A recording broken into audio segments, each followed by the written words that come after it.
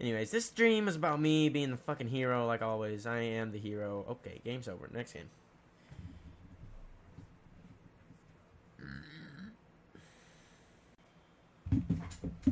So, anyways, this story, in the end, I'm gonna end up being the hero. Maybe not what you expected, but it's all the background and stuff I'm gonna give you. I'm gonna end up being the hero. Okay, so don't even worry about like, oh, what the fuck is this guy talking about? What is this gonna lead up to at all? Because I'm gonna be the hero. Okay. What the fuck?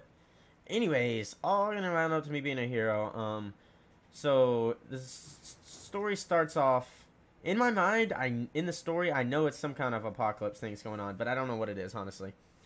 Like I have an axe for some reason. Some kind of apocalypse. We're driving in this truck. We know we got to get somewhere that's like kind of protected. We're just looking for help at this point. We're not freaking out for some reason. So I honestly don't know what kind of apocalypse it was. We're not freaking out or anything, but we're like, all right, let's get somewhere find some help. Me, two of my friends, who they are not important. Uh, I don't even remember who. I only know who one of them was for sure. But so we're driving. We see this building, right? It's like not doesn't look super protected. We're like, hey, maybe somebody's there that can help us. So we decide let's walk up to this. Let's drive to the building, get out, and there's a building, and then behind there's like a house, like a trailer house, single wide, nothing crazy. It's actually kind of small for a single wide. We walked through it, set our stuff down, everything except for the axe, and we walk out to the back where the barn is, and it starts getting a little weird. So we walk to the back, and then two guys come out with guns, like old guys the normal we are surviving an apocalypse guys. They got two guns. They're eyeing us down. Oh come on! They got their guns pointed at us. We I set my axe down against the tree. Some fucking tree there. Um, set my axe down. We put our hands up. I mean, it's not like they're being nice to us. They just kind of tell us to leave, like nicely. So we're like, okay, we leave. Um, all building up to me being a hero here, guys. Don't worry about it. So, anyways, I want to be the hero. So while we're leaving, um, like we're leaving, we're we're walked out of the place that we were. We're in the house picking up our stuff, and for some reason they don't feel the need to come in there with us. And my friends pick up the stuff. They walk to the car. The guys are like escorting us, but they're going around the house. They're not going through the house with us. They kind of escort us or while they're around the house. And um, as they're escorting us, I go back in the house, and then that was bad. That was really bad. What a retard. Dude, I'm so good at getting hit markers. I should just start playing hardcore.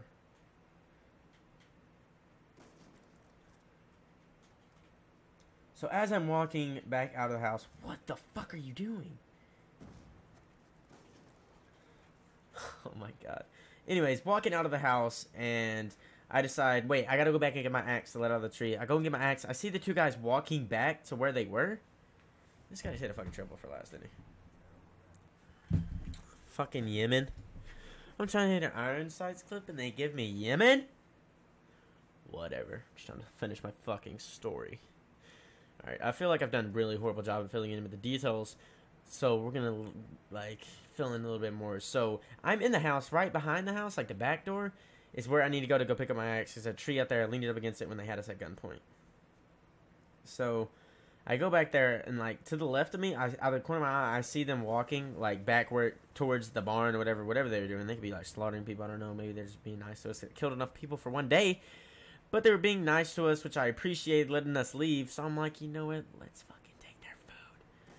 Like I wasn't thinking that at first. When I walked back through the house on my way to the car, I see on top of the fridge just like loaf of all kinds of bread. Like, not even like a loaf of like sliced bread, but like crazy kinds of bread.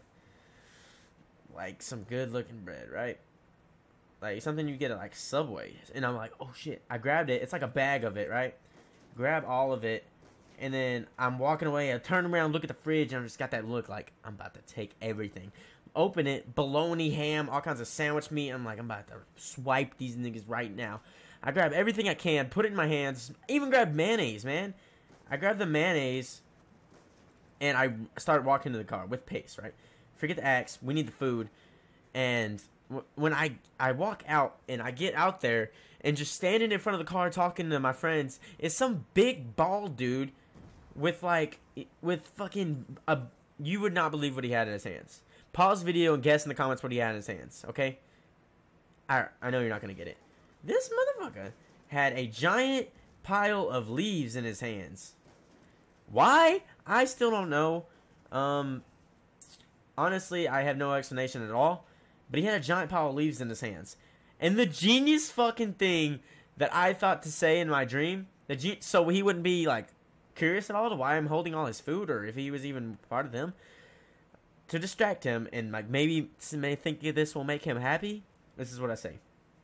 I run up, like I guess I was probably out of breath or some shit because I was running pretty fast, getting all this food with like my hands full, like arms like a basket, just holding all kinds of food and shit. I run up and say, "Wow, that's a lot of leaves." In the nicest tone I can possibly come up with. And that guy's I don't know why. Maybe he like knew who these people were. He was like, "Don't worry, man. Get out of here." I was like, "Oh, well, this guy's the homie." So we, I jump in the car. The two guys run back down. They're shooting at us and shit. I don't even jump in the car. I throw the food in the car, just dust it through the window with my chest, and then I start. I hang onto the side of the truck or whatever it was. It's like an SUV, and my friends just floor it. We're drifting down the freaking driveway, just hauling ass, just getting out of there because we're getting shot at. For some reason, I'm not even scared at all at this moment. We're just hauling ass, and I'm just trying to get out of there, you know? And then, all right, we get down, like, out of the shooting distance, and I don't know they're mad. We just taking their sandwich meat. We didn't take anything crazy. Oh, that's my teammate. Just taking their sandwich meat, and we're getting shot at. We finally get out. I decide to hop back in the window, because we're on or whatever.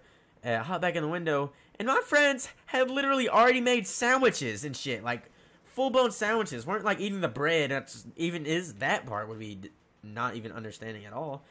They made full blown sandwiches like mayonnaise, cheese, everything you could possibly want. They made whole fucking sandwiches while I'm getting shot at on the side of the car. And we were just so happy. We were, they were just enjoying their sandwiches so much. I was laughing because they had already made sandwiches. Shit was crazy, man.